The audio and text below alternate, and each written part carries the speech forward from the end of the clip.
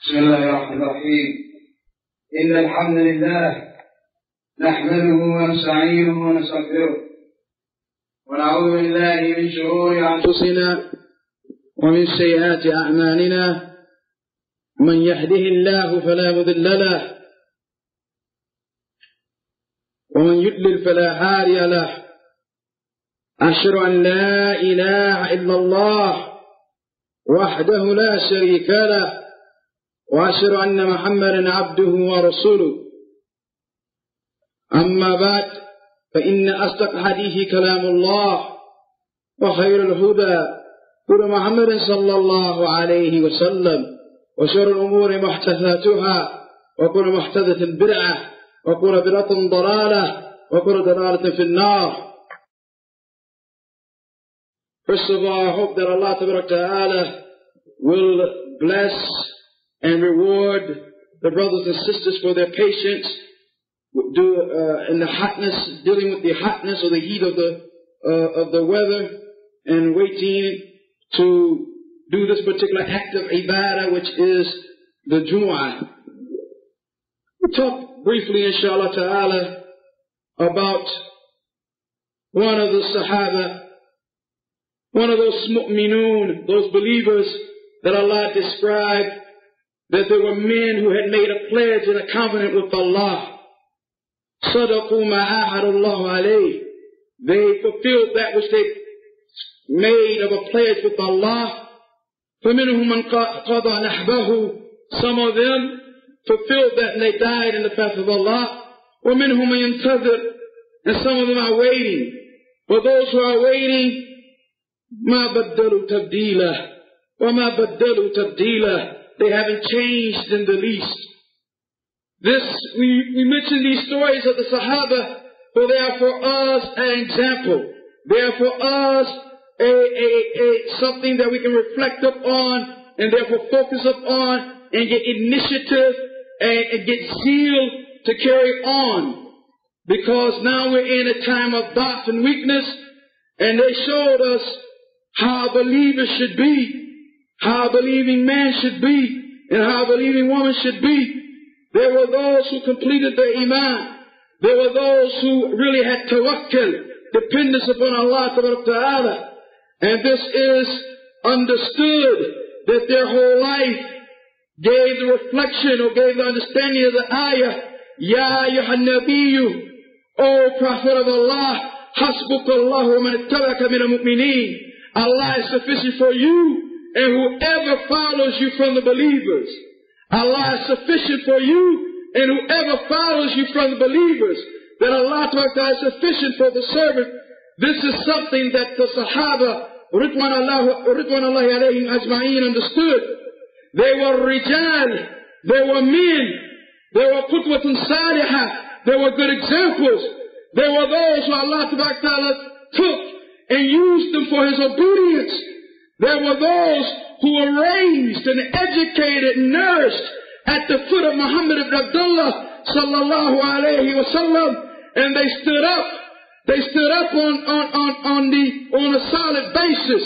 They stood up and the the, the Zurah, as Allah describes in Surah Al-Fath, the Zurah, those who are the gardeners and the farmers, is like uh, a vegetable, or something of, of vegetation or something that is implanted stands up to the degree where they are astonished by it.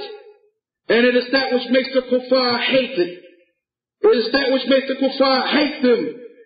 But this was something that they were, that they did. This was something that they were able to do. And this is something for us that is an example. And it's something for us that is a reminder if we were to listen, or if we were to look, and if we were to recall, and if we were to reflect, and if we were to remember. The history of Islam has many stories like this, filled with stories of this nature. But the particular story we focus on today very quickly is that Umar ibn al-Khattab, radiallahu anhu, Farouk of this ummah, the second Khalifa, decided to send a military unit to Rome to deal with Rome, or as it's called in Arabic, a Rum. So these Muslims were taken as prisoners of war. they were taken as prisoners of war. And amongst the ones that was taken as prisoners of war was Abdullah ibn Hudhafa, as-Sahmi. Abdullah ibn Hudhafa. So they took him. They recognized him. They recognized who he was. The troops that of the Rome of the Romans took him to, to the ruler and said, Inna hadha min ashab Muhammad. This person here is from the companions of Muhammad. So he ordered that he be beaten and that he be flogged and did all sorts of things to him. But Abdullah ibn alayha. He was patient with it. Then they put him in a room, put him inside a room and they locked him in it. And they had in that room khamr and nahm al-khinzir, swine, pork. They put him in that room and left him there. They left him there for a period of three days. Nothing to eat and nothing to drink unless he was to eat from the swine or drink from that wine. When this time had been a long time, the administrators of this particular ruler came to him and said, his head is hanging low. His head, his head is hanging low, meaning that he hasn't eaten, that he, that, that, that he, we fear that he'll die. So he ordered that he be brought to him. So he was brought to him. Now he's standing in front of this Roman ruler. The Roman ruler says to him,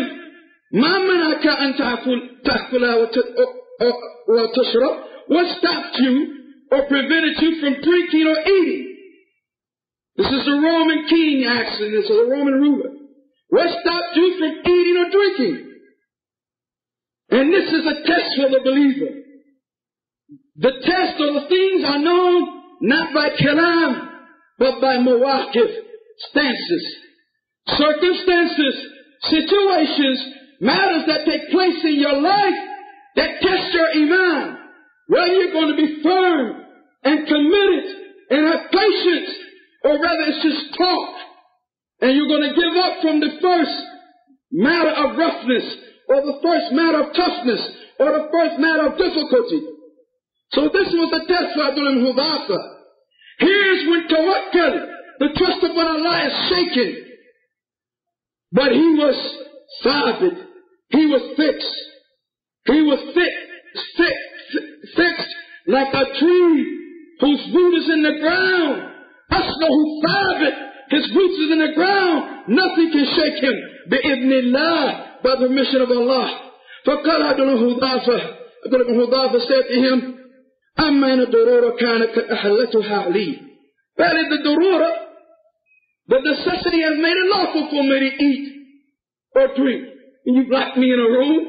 You haven't given me any food. You placed in there wine and swine. Darura necessity made it lawful. But I refuse to eat. Well, I can that too. Because I don't want to give you something to laugh at or to mock at or to put down Islam to me. Or to put down Islam to me. Look to an Ushbita Islam. So he did this to keep the honor of Islam. To keep the, to keep the Islam of Islam. He did not think about his own self. So then the ruler got to the point that he wanted from taking as a prisoner of war, from beating him, from ordering him to be placed in that room and locked in there with swine and with wine, liquor and with uh, uh, pork. Why don't you become a Christian? And I give you half of my kingdom. Listen, listen, listen.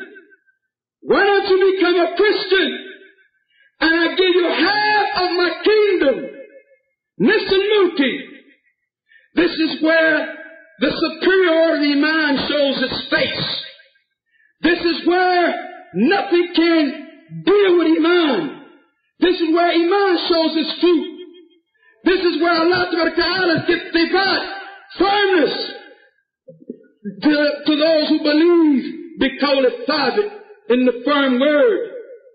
فقال عبد الله عبد الله رضي الله عنه وارضاه لو أتيتني ما تملك were you to give me all that you own وجميع ما تملك العرب and all that the Arabs own ما رجعت عن دين محمد طرفت عين I will not regret, regress. I will not go back. I, I will not return from the deen of Muhammad. Not even for the smallest thing. Not even for the blinking of an eye. I will never return. I will never go away. I will never give up. I will never compromise the deen of Muhammad sallallahu alayhi wa sallam. Your kingdom, the kingdom of the Arabs, whatever is in possession of men and jinn in the heavens and the earth, bring it on. It won't change me because I won't go away from the deen of Muhammad sallallahu alayhi wa sallam. This is the superiority, the isti'lah. This is the superiority that doesn't shake in front of whoever is in front of. This is the, this is the superiority that doesn't move itself to the traditions of men and the habits of men and the desires of men and the legislation of men and the wants of men and the ideologies of men.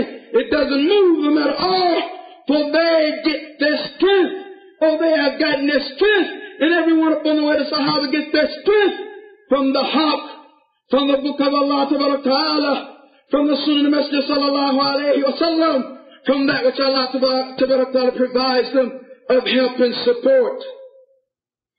This is not something that is a claim, and this is not something that is hamasatin, as a fa'ira, just passing by emotions.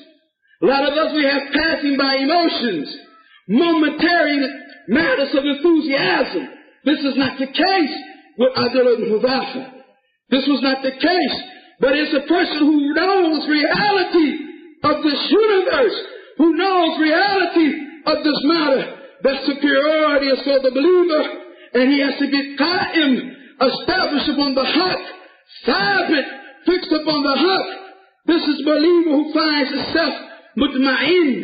He finds serenity in his heart because he has submitted to the statements of Allah. And he never has removed from his mind the ayah, "Wala tahinu And do not be sad, wala تَحْسَنُوا And do not grieve, وأنتم أعلون You are superior.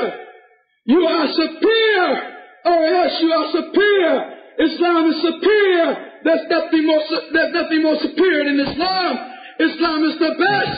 There's nothing better than Islam. Islam is the highest. There's nothing higher than Islam. أنتم أعلون You are superior. إن كنتم مؤمنين. إن كنتم مؤمنين. If you are believers. This is the haqq that connects one with Allah Ta'ala, the all living who never dies, Al-Hayy yamut. And this is the matter that Allah has not left the mu'min by himself to carry this heavy load, wahidan, by himself.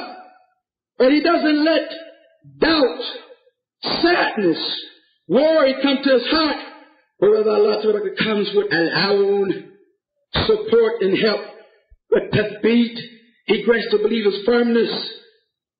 He grants the believer, Alameen, the Lord of all in creation, the Lord of all creation grants the believer firmness. He's this firmness and this, this support from Allah fills the believer's heart with firmness and he is sure of his deed without doubt.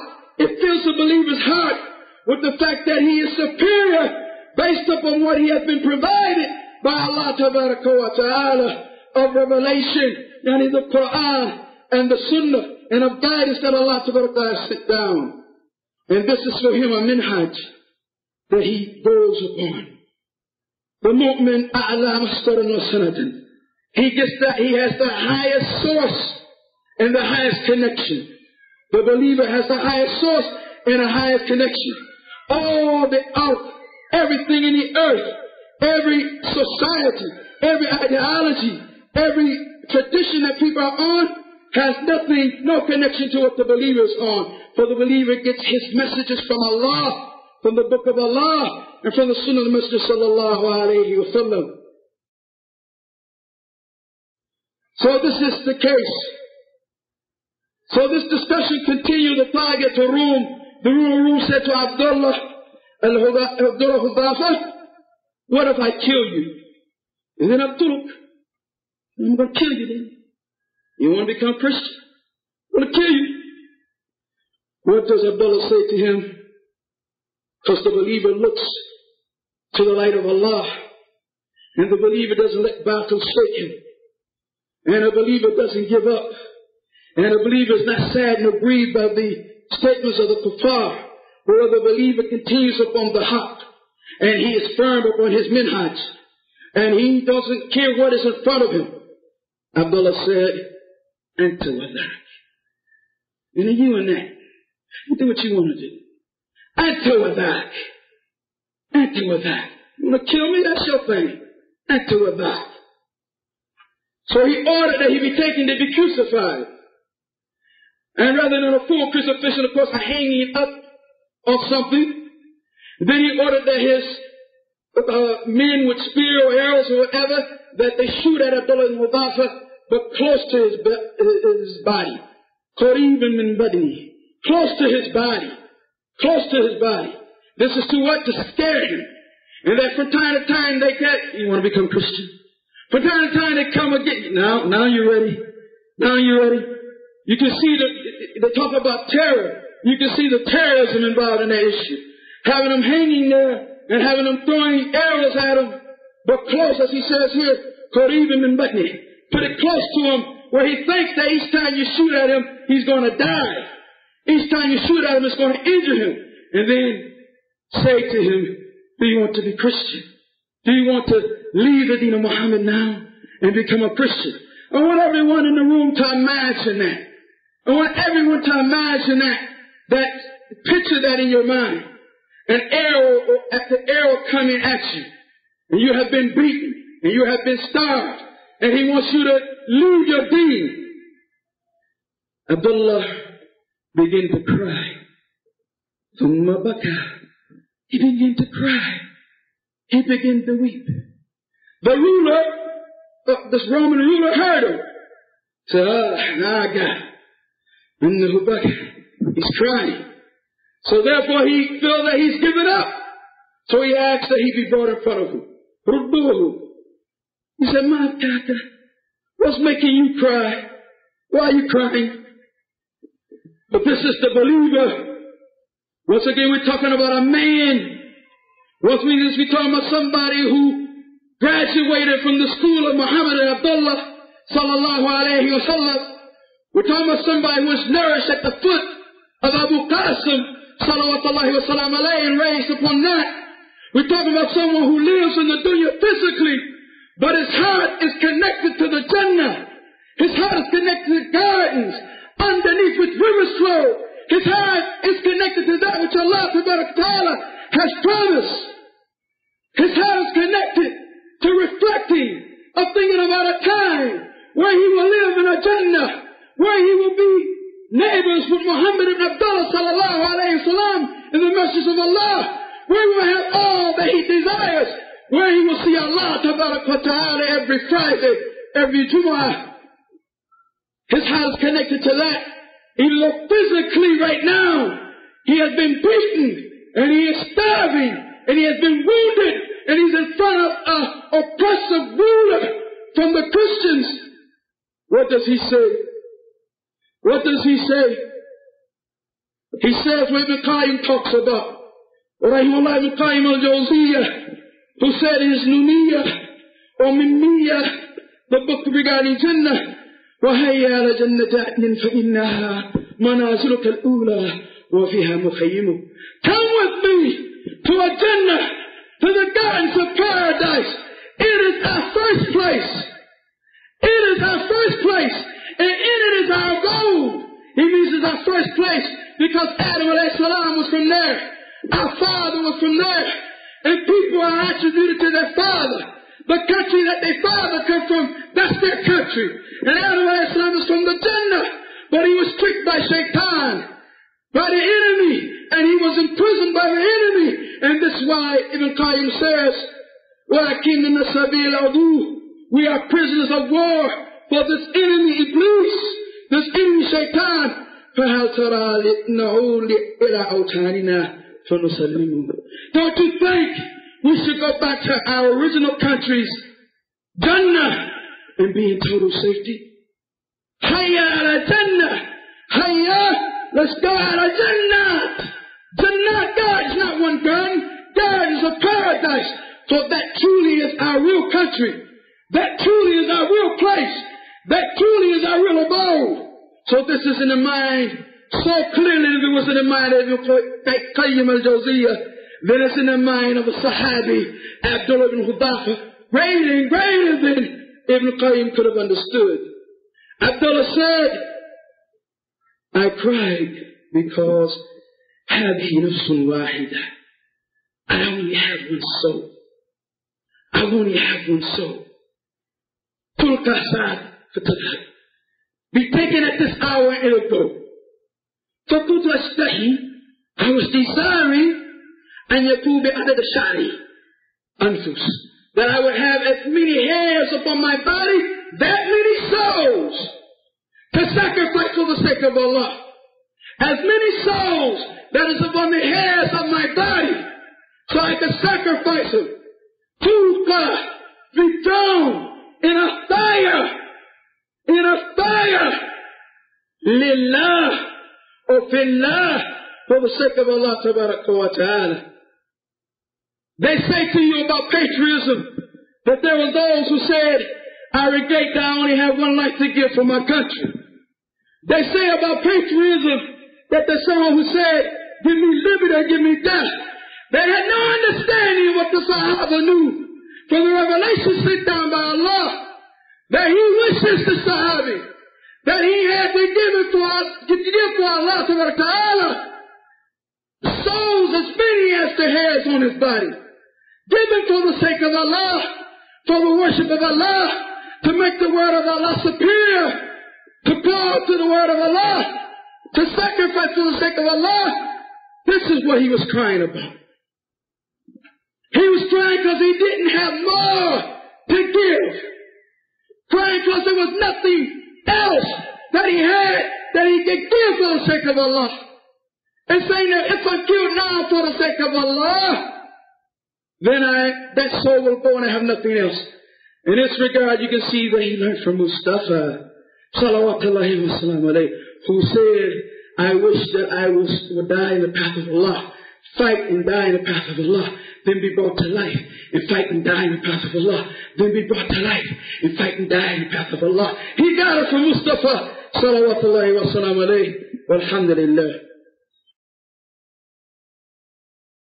الحمد لله رب العالمين والصلاة والسلام على سيد المرسلين وعلى آله وأصحابه أجمعين وبعد So when this Roman Taghi, this oppressive Roman ruler, seen this type of thing, something he never imagined, something he never thought that would happen, something he had never seen in his life before, all of his wants and desires, all of his hopes that this Sahabi will leave the deen of Muhammad and come to that kufr and come to that shirk, which they call Christianity. When he saw this, he was one, he wanted to lower the ante, go down to another level. فقال, he said, هل لك أن تقبل رأسي وأخلي عنك how about you come kiss my head and I let you go free? How about that, Abdullah? How about you come kiss my head and I let you go free? And this is the time for Abdullah, to, Abdullah to get out of this transgression, to get out of this doom, to get out of this oppression, to get out of this difficulty. But he says, he sees it as an opportunity to think about his brothers who were taken prisoner with him. Preferring himself. This is called Ethar. Something we have no understanding about. Preferring others to yourselves. He says what? He says, this, now, if I kiss your head will you release me and all the prisoners of war from the Muslims? And all the prisoners of war, not just me, but all the prisoners you have taken from the Muslims? This is to show that here he is able to kiss his head. In this case, why? Because there's no compromising the deen. He's not giving up on one portion of his deen. There's nothing but a physical action there that has no purpose whatsoever. For it is such that the Muslims, who Allah has promised victory to, that head that was very well kissed, either became a head that submitted or was cut off later on. So it was no problem. Because there's no compromising here with deen. And yet here he is doing that which is benefit to the Muslims. So this Roman ruler says, none. So Abdullah kissed his head. So Abdullah kissed his head. This is an example. This is Islam. This is, there are fawaid and benefits to this that we cannot possibly get to in the time allowed.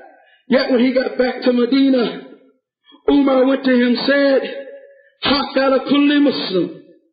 It is necessary for every Muslim, or the right of every Muslim, and you yukabbal ras ibn Hudhafa, to kiss the head of Abdullah ibn Hudhafa. So he said, everybody come kiss the head of Abdullah ibn Hudhafa. وأنا أبدأ Umar said, and I will start. So he got up, فقبل رأسه فقبل يعني فقبل رأسه he kissed his head عمر بن الخطاب وهكذا يكون تقدير الرجال لا تقديسهم this is how men are to be measured and respected not make them holier than thou but respect them and give them the level that they deserve and this is how the people of benefit and fadl and virtue know who else possesses virtue and nobility and like this we ask Allah to grant us the ability to stay on the way of the Prophet sallallahu alaihi wasallam and his Sahaba and to we are raised with them on that day. And because of those who drank from the fountain of Muhammad ibn Abdullah sallallahu alaihi wasallam there Allah is able to do all that. And I ask that Allah to reward you and I thank you for being patient with the heat in the city, but maybe Abdullah Hudhafa's story made you forget all of that. هذا وصلى الله على نبينا محمد وعلى آله وصحبه وسلم. وأقيموا الصلاة.